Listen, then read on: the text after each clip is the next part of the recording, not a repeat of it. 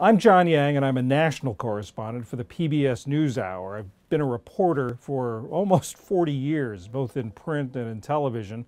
Uh, most recently, before I joined PBS, I was in the Midwest for one of the commercial networks.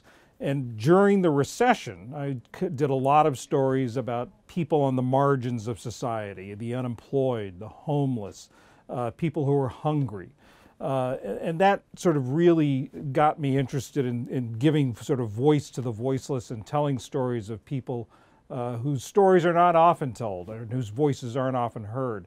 And that really is the theme of, of two, the two stories that uh, producer Frank Carlson and I shot in Missouri. Uh, the first one is about the, uh, the people who are mentally ill or have uh, drug abuse problems and find themselves uh, in uh, colliding with the uh, criminal justice system, sometimes because there's no really other place to take them. They're acting out, they're self medicating, they collide with police because they're, uh, they're being disruptive, they're drunk in public, uh, uh, and oftentimes in a lot of places, there's no place to take them. Either the emergency room in the hospital, but sometimes that's not really appropriate because they don't have a, a, a, a a, a critical uh, injury or something that's pressing. So a lot of them end up in jail. They end up being arrested and being in the, in the courts. The other story we were doing in, uh, in Missouri takes a look at when poor people uh, encounter the criminal justice system. And that means a lot of times being represented by public defenders.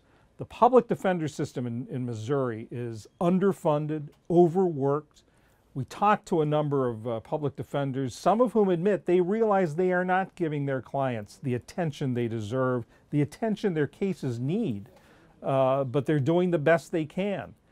And, and so you've got defendants who are spending a lot of time languishing in jail, waiting for their cases to come to trial, waiting for their public defenders to, to help them. They're offered plea bargains. They could get out uh, on a time served sentence, but they then they've got a conviction. But they take the deal because they want to get out of jail. A lot of them are put on probation. It's very easy to break probation. You're sent back, they're sent back to jail, and the whole process begins again.